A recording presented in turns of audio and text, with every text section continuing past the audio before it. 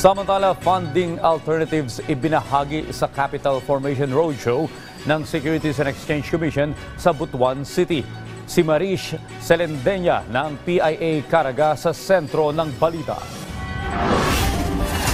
Naging matagumpay ang Capital Formation Roadshow sa lungsod ng Butuan para sa mga micro, small and medium enterprises o MSMEs at startups na dinaluhan ng mahigit dalawang daan ng mga partisipante mula sa iba't ibang bahagi ng rehiyon ng Caraga. Nabigyan ang mga nakibahagi ng iba't ibang alternatibo na pwede nilang gamitin para makakuha ng pondo para sa kanilang negosyo sa pamamagitan ng mga ibinahaging programa ng SEC at guest speakers mula sa Philippines Tax Exchange, Round 1 at Investment and Capital Corporation of the Philippines. Ayon kay SEC Commissioner Carlo Bello, isinagawa ang Capital Formation Roadshow para matulungan ang mga MSMEs at startups. Uh, some would get their own funds sa ilang kaugalingon.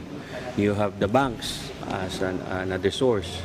So we are presenting other alternatives tungkol sa crowdfunding and also the tapping the capital markets. Nagpapasalamat si Butuan City Mayor Ronnie Vicente Lagnada sa SEC dahil nagkaroon na ng access sa mga funding institutions ang MSMEs. I would like to thank SEC for uh, doing this roadshow, of course with partners on, on, on the funding institutions and access to finance groups. We can at least develop new industries based on our strengths, of course. Lubos ang pasasalamat ni Josephine Fugoso, isang MSME na mula sa Dinagat Islands. Dahil madalas masalanta ng kalamidad ang probinsya, anya malaki ang tulong nito para sa kanila lalo na't mahirap para sa kanila na nakatira sa isla ang maghanap ng pondo para makabangon at makapagsimula uli sa negosyo. naatanan ang inputs nga gikinahanglan nako nga i-share nila ang knowledge aron ma masabtan nila og unsa ang additional services nga gihatag sa Securities and Exchange Commission in terms of